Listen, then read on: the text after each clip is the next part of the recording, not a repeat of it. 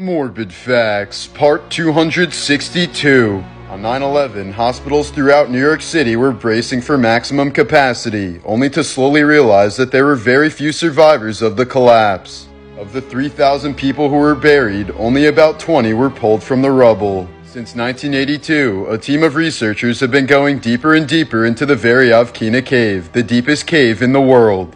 At 1100 meters deep in 2021, they found the body of a climber dangling from a rope.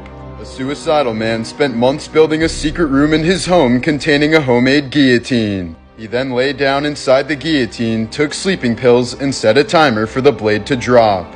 His decapitated body was discovered by his father, who was completely unaware of his son's gruesome plan.